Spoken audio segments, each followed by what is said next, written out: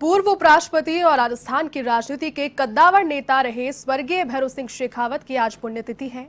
ऐसे में मुख्यमंत्री अशोक गहलोत ने ट्वीट कर बाबू साहब भैरव सिंह शेखावत को श्रद्धांजलि सुपुर्द की। सीएम गहलोत ने कहा कि भारत के पूर्व उपराष्ट्रपति और राजस्थान के पूर्व सीएम स्वर्गीय भैरव सिंह शेखावत को उनकी ओर से विनम्र श्रद्धांजलि अर्पित है।